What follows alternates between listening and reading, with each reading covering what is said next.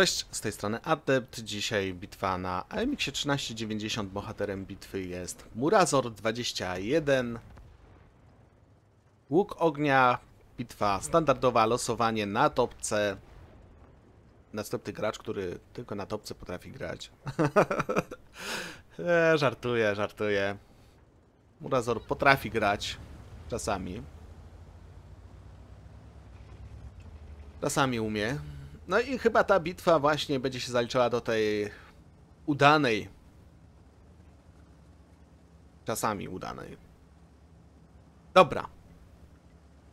Rozpoznanie na środku, czyli nie ma, nie ma tutaj stania w krzaku. Przynajmniej na razie. Od razu otwarcie. Za chwilę będzie zamknięcie. Już ktoś strzela z torów. No nie można ob- obniżyć działa, trzeba się bardziej wychylić. To jest oczywiście ryzykowne, ale trzeba liczyć również na to, że przeciwnik się na tych torach zbyt długo nie zatrzyma. Teraz e, też e, te blindy wchodzą. Wchodzą lub nie wchodzą, zobaczymy. Mm, No właśnie. To wszystko się jakoś udało, jak na razie. Również nie była tutaj przygotowana artyleria, żeby strzelić. Jeszcze jakaś asysta w Tiger AP. Także na, razie dość szczęśliwie, bo bez straty własnej, no ale nie wiemy, czy te pestki w ogóle powchodziły. Może i tak, może nie. Na Hila trochę czołgów naszych jedzie, więc y, będzie chyba do kogo strzelać za chwilę. Jest spot na Tigerze P. Nasz bohater się nie zaświecił. Asza, nasza artyleria korzysta na tym. I zobaczymy. Będzie spot na naszym bohaterze? Czy Murazor zostanie wyświecony i spaziowany z górki? Bo górka już się świeci. Nie, udało się. Ten Tiger P po prostu jakąś słabą, beznadziejną załogę ma. Tak to już bywa na randomach.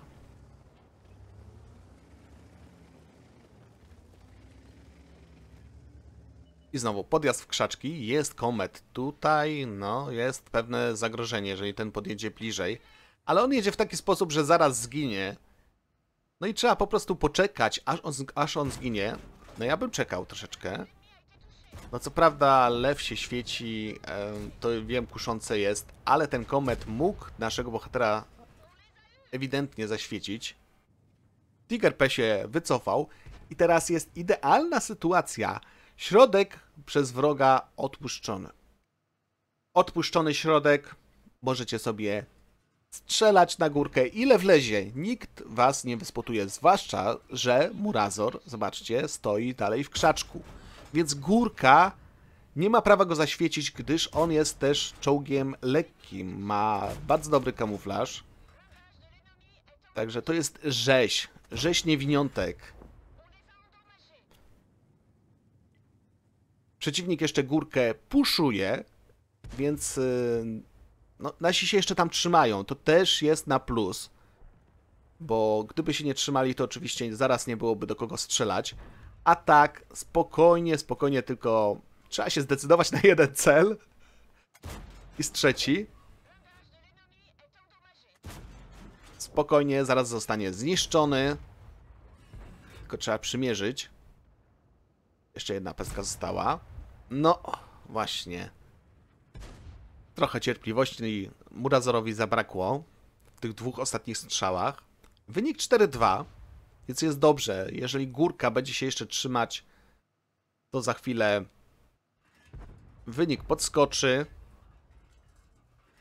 No i myślicie sobie pewnie, a tak, taka, taka bitwa, to, pff, to każdy potrafi taką bitwę zagrać. No dobra, ale to jeszcze przecież nie koniec. Teraz mamy Super Pershinga, pyk. Zanim się on obróci, to już cały magazynek w niego zostanie wpakowany. No i teraz do przodu, znaczy do przodu, czyli w tył. Jest push linią 1. T29 wzywa pomocy. No i Murazor Chyba sobie wyjedzie na Tigera 1. Nie widać, żeby T-29 wyświecił coś tam z tyłu. Więc ostrożny ten wyjazd. E, Na torach chyba też niewiele czołgów. Tiger P odbił się. Odbił się. Jest przyjęcie zaproszenia do Plutonu. Może jakaś, jakiś medal wpadnie fajny. Kto wie. I teraz znowu górka, bo górka cały czas się świeci. Jest WZ. No, będzie ciężko, ale cofa się, więc jest szansa. Trochę ukryta. No właśnie. Tam jest zagłębienie terenu i to nie jest łatwa sprawa, żeby trafić właśnie tamto miejsce. No, jedna pestka została. Trzeba przymierzyć. Udało się. No i cóż. No jednak, jednak bitwa na stojąco. Rozczarowałem się. Rozczarowałem się. Myślałem, myślałem, że Murazor zagra agresywnie, tak jak ma to w zwyczaju grać jego brat, ale nie, Murazor po prostu zawalił sprawę.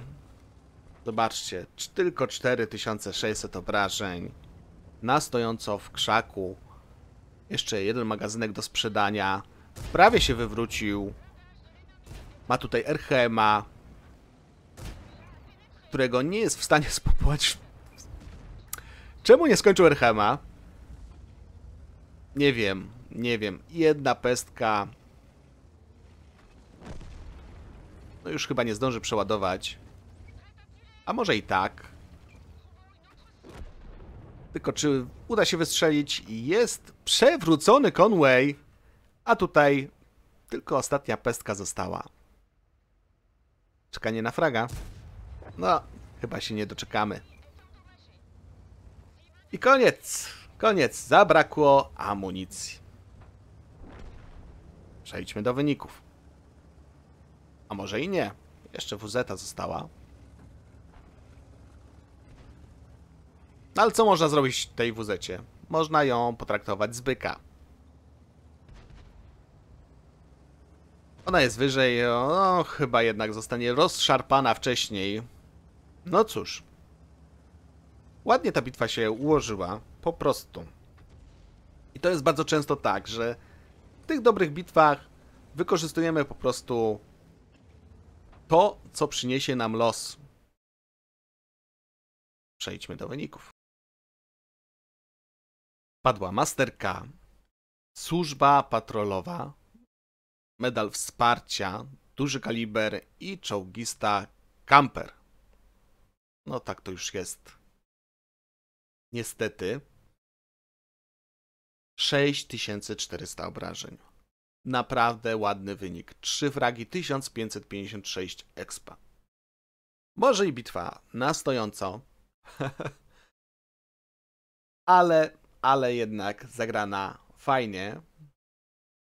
Znaczy fajny wynik, o tak. Nie, fajnie zagrana to nie. Nie, beznadziejna bitwa.